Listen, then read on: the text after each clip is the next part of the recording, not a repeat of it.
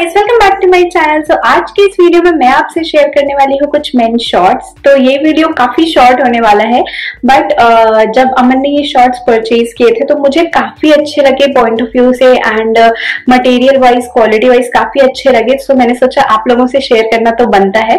तो इसीलिए मैंने सोचा ये वीडियो बनाने का। तो अगर आप मेरे चैनल पे पहली बार आए हैं so please let me know in the comment section if you like my videos and और not and consider subscribing and आप अगर रेगुलरली मेरे वीडियोस देख रहे हैं एंड अभी तक सब्सक्राइब नहीं किया है so please subscribe to my channel okay तो चलिए अब वीडियो शुरू करते हैं।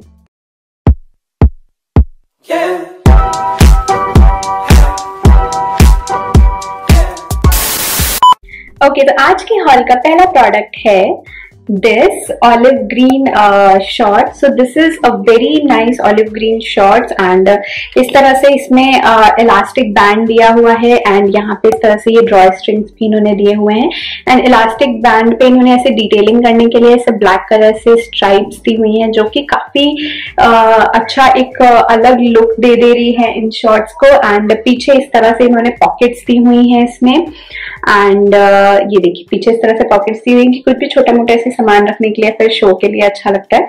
So this is in very nice olive colour and this is in size this is from Pantaloons and this is in size 599 so ये सारी चीज़ sorry once again I'll tell you this size. This is in double XL तो अगर आपका भी जैसे आप में अमन को देखा ही हुआ है। जो लोग मुझे इंस्टाग्राम पे फॉलो करते हैं, उन्होंने देखा होगा अमन को। एंड मैंने कुछ वीडियोस भी डाले हैं अमन के साथ तो आपने देखा होगा। तो अगर आपका भी फिजिक अमन के जैसा है तो you can go for double XL and this is a very nice shorts and काफ़ी कंफर्टेबल है पहनने में। गर्मियों के अकॉर्डिंग बहुत ही अच्छे हैं। Okay so the next one is this this is in very nice royal blue colour and इस पे इन्होंने इस तरह से प्रिंट लिखा हुआ है पॉ बूम लाइक दैट वाओ तो इस तरह से प्रिंट है इस पे एंड uh, इसमें साइड में पॉकेट्स हैं इस तरह से. एंड आई थिंक एक ही साइड है. ओके okay, हाँ दोनों साइड है pocket okay this is very nice तो दोनों साइड में इसमें पॉकेट्स हैं. तो साइज़ चार्ट के अकॉर्डिंग इन्होंने इसमें भी डबल एक्सएल ही मंगाया है. This is from this is from Urban Dog so this is again a very nice material and इस पे भी इस तरह से इलास्टिक बैंड दिया हुआ है एंड स्ट्रिंग्स दी हुई है.